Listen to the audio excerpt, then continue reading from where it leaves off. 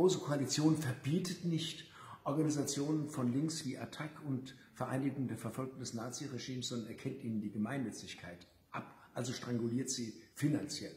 Ich bin seit meinem 15. Lebensjahr deswegen in der VVN, weil sie nicht nur den Rassismus bekämpft, sondern auch den anderen Kern des Faschismus, nämlich antigewerkschaftlich und antisozialistisch und antikommunistisch.